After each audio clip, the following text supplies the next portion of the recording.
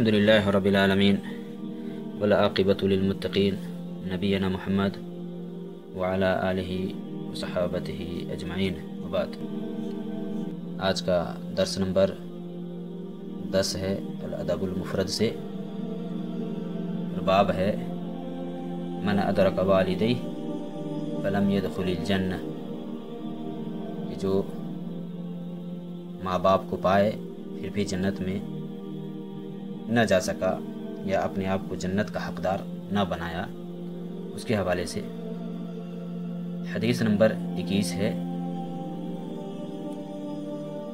अन अबी हुरैरत रदियल्लाहु तआला अन्हु अन नबी सल्लल्लाहु अलैहि वसल्लम क़ाल रग़िम अनफु रग़िम अनफु रग़िम अनफु क़ालू या रसूलल्लाह मन क़ाल मन अदरक वालिदैहि इंदल किबर औ अहदहुमा फदखल अन्नार कि अबू हुरैरा रदियल्लाहु ताला अन्हु बयान फरमाते हैं कि अल्लाह के नबी सल्लल्लाहु अलैहि वसल्लम ने फरमाया कि उस आदमी की नाक खाक आलूद हो।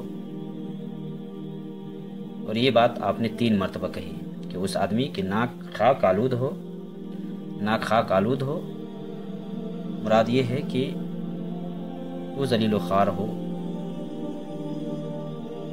सहाबा ने पूछा कि अल्लाह के नबी सल्लल्लाहु अलैहि वसल्लम कौन? यानी किसके नाक खाक आलूद हो तो आप सल्लल्लाहु अलैहि वसल्लम ने फरमाया कि जिसने अपने माँ बाप को या उनमें से किसी एक को बुढ़ापे की हालत में पाया, लेकिन फिर भी वो जहन्नम में चला गया। हदीस से मुराद बिल्कुल वाज है कि एक आदमी अपने माँ बाप के साथ नेकी करके जन्नत का हकदार ना बनाया उसी के हवाले से ये हदीस है, और चूँकि इसमें बुढ़ापे का ज़िक्र आया है, इसलिए यहाँ शुरू में जो अल्लाह के नबी सल्लल्लाहु अलैहि वसल्लम ने ये फरमाया है कि, रग मानफो हर रगाम बोला जाता है कि मिट्टी में अपने आप को नाक घसीटना या नाक लगड़ना, ये मुराद होता है। यानी रगाम बोला जाता है मिट्टी को मिट्टी को। और ये जुमला उस वक्त इस्तेमाल किया जाता है, जब आदमी अपने आप को ज़िल्लत वाला काम करता है या तबाही वाला काम करता है तो उस हवाले से ये बोला जाता है। इस हदीस के अंदर अल्लाह के नबी सल्लल्लाहु अलैहि वसल्लम ने तीन दफ़ा ये बात कही कि वो शख्स की ना खाक आलूद हो, यानी मिट्टी में मिल जाए उस शख्स के ना खाक मिट्टी में मिल जाए साहबा ने जब पूछा कि अल्लाह के नबी सल्लल्लाहु अलैहि वसल्लम कौन लोग हैं? यानी गोया कि अल्लाह के नबी सल्लल्लाहु अलैहि वसल्लम का ये तीन मरतबा दोहराना और तीन मरतबा बार बार इस जुमले का रिपीट करना, ये इस बात पे दाल है कि गोया इसकी अहमियत और इसकी जो फजीलत है, उसको बयान करना मकसूद है। तो उसमें अल्लाह के नबी सल्लल्लाहु अलैहि वसल्लम से सहाबा ने पूछा कि अल्लाह के नबी सल्लल्लाहु अलैहि वसल्लम कौन है? इस तरह का बंदा जिसके हवाले से आप ये बयान फरमा रहे हैं तो आप सल्लल्लाहु अलैहि वसल्लम ने फरमाया, मन अदरक वालिदैहि है इंदल केबर। जिसने अपने माँ बाप को बुढ़ापे की उम्र में पाया, या उन दोनों में से किसी एक को बुढ़ापे की उम्र को पाया, लेकिन उसके साथ खिदमत न करके वो अपने आप को जहन्नम का मुस्तक बना लिया। गोया कि माँ बाप की खिदमत करके आदमी अपने आप को जन्नत का मुस्तक बना सकता है, या जन्नत में जा सकता है, उसकी खिदमत न करने से इंसान जहन्नम में जा सकता है। और ख़ास करके अल्लाह के नबी सल्लल्लाहु अलैहि वसल्लम ने यहाँ बुढ़ापे का ज़िक्र किया है।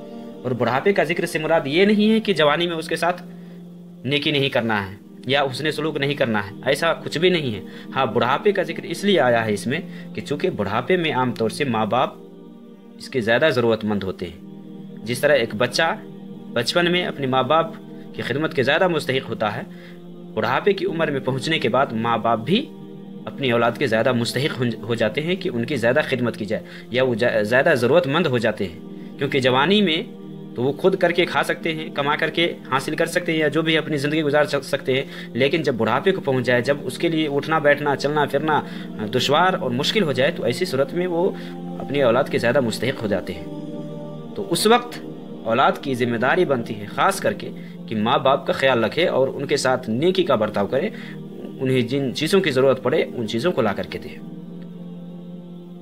वरना माँ बाप के साथ पूरी ज़िंदगी नेकी करने का हुक्म है। और इस हवाले से अभी हम जो दर्स सुनते आ रहे हैं, सिर्फ़ माँ बाप ही के हवाले से, अब तक।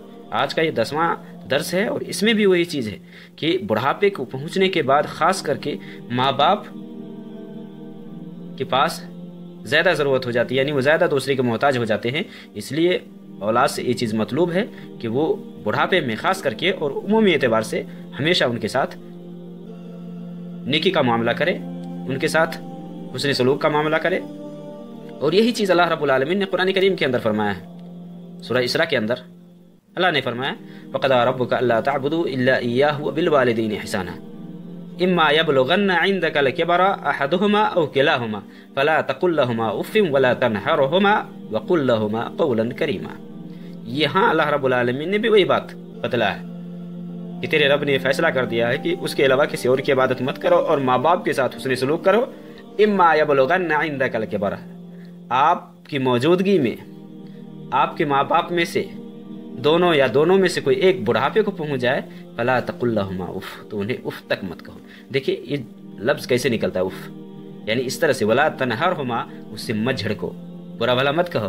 वकुल्लहुमा कौलन करीमा, अल्लाह कह रहा है कि नरमी से उनके साथ गुफ्तु करो, नरम बात कहो। तो माँ बाप के साथ हमेशा हुसन सलूक मतलूब है, लेकिन बुढ़ापे की उम्र को जब पहुँच जाए तो ख़ास तौर से उन्हें खिदमत करने की ज़रूरत है या उन पर तोज्जो देने की ज़रूरत है। और अल्लाह के नबी सल्लल्लाहु अलैहि वसल्लम की एक हदीस है तिरमिज़ी, इब्न माजा वगैरह के अंदर, कि आप सल्लल्लाहु अलैहि वसल्लम ने फरमाया, जैसे अबू दरदा रदी अल्लाह तआला अन्हु कहते कि समीअत रसूल अल्लाह सल्लल्लाहु अलैहि वसल्लम यक़ूल अल वालिदु औसत अबवाबिल जन्नह हाफिज अला वालिदैक। अवित्र अवित्रुक हो का लफ्ज़ इसमें है। अवित्रुक हो कि अपने बाप के हवाले से आप सल्लल्लाहु अलैहि वसल्लम ने फरमाया कि बाप ये जन्नत का दरमियाना दरवाज़ा है, दरमियान वाला दरवाज़ा है। अब तुम्हारी मर्ज़ी है कि अपने वालदेन का ख्याल रखो या तुम उन्हें छोड़ दो। इसलिए माँ बाप की खिदमत करके आदमी जन्नत का मुस्तक बना सकता है। इसलिए इस हदीस से जो मिलता है, वो यही कि माँ बाप को खुश करके जन्नत में जाया जा सकता है। या माँ बाप को खुश रखना जन्नत में जाने का एक बेहतरीन ज़रिया है। इसी तरह वालदेन की खिदमत और इतात जन्नत में दाखिले का एक ज़रिया है। और मोमिन को तो जन्नत में जाने की ख्वाहिश होती है, इसलिए वालदेन की इतात का बेहतरीन ख्याल रखना चाहिए ताकि जन्नत में जा सके वो। यहाँ तक कि अगर वालदेन किसी ऐसे काम का हुक्म दे, जो शरान जायज़ हो तो उसकी तकमील करनी चाहिए। जहाँ तक मुमकिन हो उनकी ख्वाहिशात का ख्याल रखना चाहिए। ये ना हो कि माँ बाप की ख्वाहिश है और हम उस पर पानी फेर दें। कोई चीज़ खाने के लिए मांगे हमारे पास है, अल्लाह ने दिया है, फिर भी हम उन्हें देने से इनकार करें। तो ऐसा नहीं। तो एक आदमी माँ बाप की खिदमत करके वो अपने आप को जन्नत में जगह बनवा सकता है। इसलिए माँ बाप का ख्याल हर हाल में मतलूब है और ज़रूरी है, कहीं भी, जहाँ कहीं भी हम रहें। अल्लाह के नबी सल्लल्लाहु अलैहि वसल्लम की इस हदीस पे अगर हम अमल करते हैं माँ बाप की अगर खिदमत करते हैं तो अल्लाह के यहाँ हमारे लिए जन्नत, इसलिए सही मुस्लिम के अंदर है कि आप सल्लल्लाहु अलैहि वसल्लम ने फरमाया, मन अदरक वालिदैहि इंदल किबर औ अहदहुमा औ किलैहिमा फलम यदखुलिल जन्नह कि जिसने माँ बाप को या माँ बाप में से किसी एक को बुढ़ापे को पाया और फिर भी अपने आप को जन्नत में दाखिल न करवाया तो ये तो उसके लिए तबाही है ना?